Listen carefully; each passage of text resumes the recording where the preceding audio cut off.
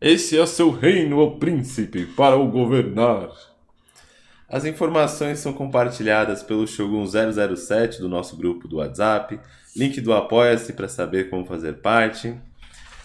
E eu também não sei se são oficiais, são do O Valor, também está no site O Antagonista, então não me venha culpar se não for oficial isso daí, se tiver algum problema. Não sou eu que estou falando, tá? Não são minhas informações, nem eu teria como a saber, tá bom? Então eu vou comentar sobre isso. Sim, Luiz Felipe de Orleans Bragança, o príncipe, agora vai ser também o governador, né? Se depender, claro, do seu eleitorado. Em São Paulo, nós não tínhamos um candidato a governador pelo PSL. Estávamos sem também candidatos que sejam contundentes ao governo. Tem o SCAF, tem o João Dória e tudo mais, mas nenhum deles é tão expressivo quanto o Luiz Felipe de Orleans Bragança. E por quê? Ele é uma figura que já está há bastante tempo na direita. Né? Ele tem livros escritos já sobre o tema. Uh, eu não vou comentar sobre o livro porque eu não li, tá? Mas você pode checar. É porque Brasil é um país atrasado.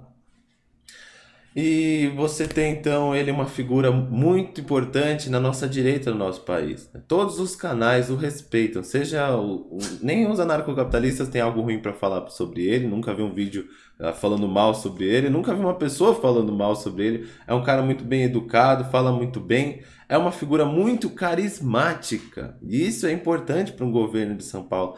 Chega de pessoas que vêm para cá e parecem o Mr. Burns, mano, do Simpsons, tá me entendendo? A gente precisa desse candidato e é o que importa aqui. Os monarquistas estavam um pouco deprimidos com o nosso país. É, é uma parcela da população que é praticamente ignorada, é uma parcela da população que não gostaria de votar, né? é a parcela que fala, ah, hashtag monarquia já, ou intervenção militar já. E é uma chance deles uh, virem para o partido e se interessaram em votar dessa vez. Falar, poxa, peraí, né? tem um príncipe ali, né? Então que tal a gente votar nele em vez de ficar só reclamando? E essa é uma oportunidade também para aquelas pessoas que não são de São Paulo, para compartilharem também. Hoje a mídia social você vai atingir pessoas do Brasil inteiro, tenho certeza. Uh, hoje é uma maneira mais orgânica como a, a, as eleições estão sendo feitas. Não pense só porque você não é do estado de uma pessoa. Por exemplo, eu sou pré-candidato a deputado estadual pelo PSL. Se eu vou conseguir, vai depender de pessoas que estão, por exemplo, no Amazonas, no Acre, uh, no Nordeste inteiro, cara, em todos no Sul inteiro, no Sudeste, no Centro-Oeste, no Norte, todos os lugares do Brasil inteiro, lindo, maravilhoso.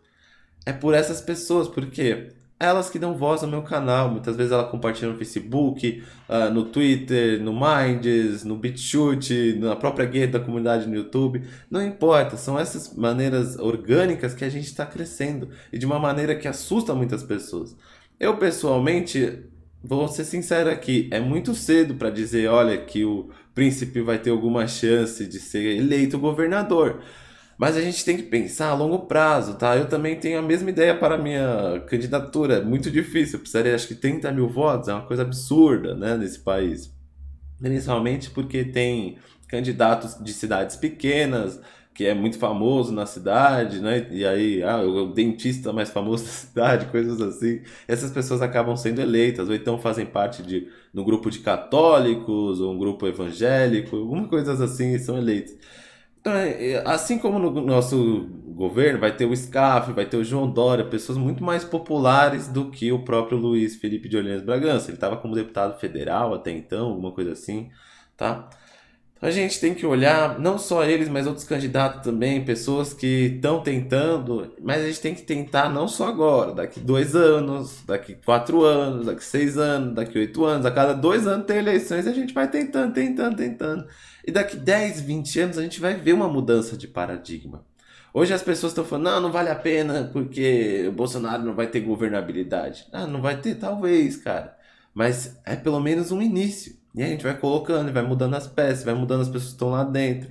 Né? E esses caras da esquerda, da velha guarda, do PT vai começar a cair, porque a economia vai começar a melhorar. As pessoas vão falar, não, peraí, não é tão ruim assim pagar menos impostos. Poxa, não é tão ruim assim nosso Estado ter direito a, a tomar as decisões das próprias leis. Isso seria muito interessante, cara, ter não só o nosso governador ser o príncipe, mas ter ele como uma pessoa que possa mudar as leis de São Paulo, que possa escolher como os impostos de São Paulo vão ser recebidos. Ele também é uma pessoa muito acessível, tá? Assim, acho, acho que eu nunca vi uma pessoa que foi até ele e ele não respondeu, né? Principalmente porque é, é o começo. É uma pessoa também que as pessoas vão respeitar muito, não tem o que falar sobre ele, um cara muito inteligente, muito carismático, um empresário, uh, muito sábio.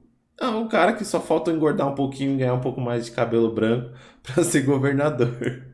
Brincadeiras à parte, né? Toda a sorte do mundo. Espero que seja mesmo ele. Tal. Eu não vejo outra pessoa. É uma figura que, apesar de tudo, vem para emplacar aí, né? Vem para lacrar, como diriam.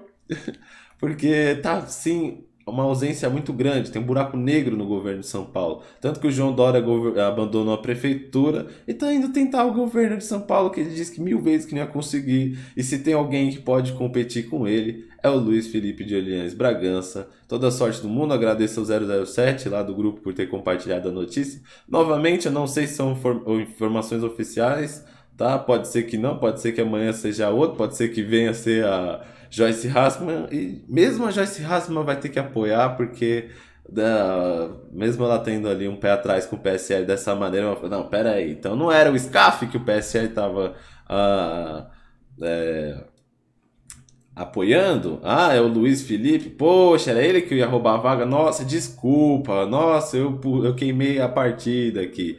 aqui é quando a primeira vez que ela disse que o PSL ia apoiar o SCAF, eu disse que era fake news, eu falei para ela que era errado, eu fiz um vídeo sobre, é claro que eu sou muito pequenininho, ninguém nunca vai prestar atenção, mas mesmo assim, entendam que era fake news sim, nem nunca que o PSL ia apoiar o SCAF, que é maneira absurda, e tamo aí, né? vamos ver se vai ser mesmo isso, nada oficial mesmo, como eu já disse, e até a próxima, tchau, tchau.